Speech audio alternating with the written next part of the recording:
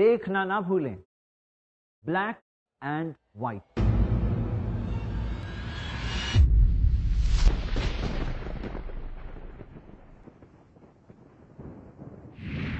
सिर्फ़ आई plus TV पर बेहतर ज़िंदगी के लिए।